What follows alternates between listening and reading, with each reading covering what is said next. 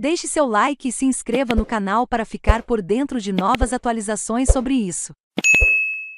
Cauí Leonardi é uma das piores estrelas que a NBA já viu, critica comentarista. Jumper Brasil polêmico Stephen Smith da ESPN criticou Cauí Leonardi, a quem chamou de uma das piores estrelas que a NBA já viu. As declarações do comentarista foram feitas durante o programa First Take desta sexta-feira.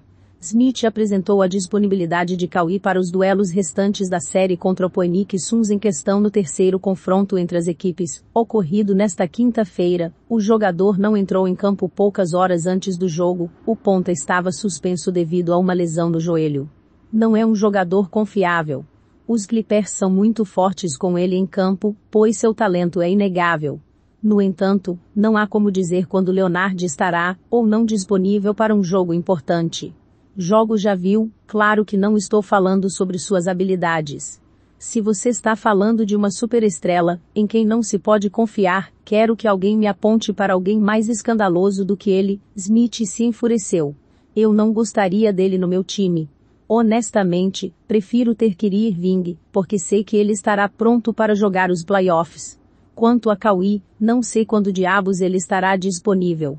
Acredite ou não, Kiri é mais confiável que Cauí, concluiu o comentarista. Leonard foi o artilheiro dos Clippers. Nos dois primeiros jogos da série contra os Suns, ele somou 38 e 31 pontos, respectivamente. Cauí Leonard é o rei de Los Angeles, diz Charles Barkley para o quarto jogo, que acontece neste sábado. Cauí está em dúvida por enquanto.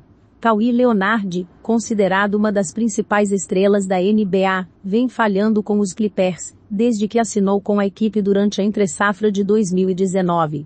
Assim, o extremo disputou apenas 161 dos 308 jogos possíveis. Isso significa que ele atuou em 52% dos jogos do time, na temporada 2021-22, nem entrou em campo devido a uma lesão grave no ligamento cruzado anterior do joelho direito, mas o cenário melhora um pouco nos playoffs. Afinal, Cauí já disputou 26 partidas de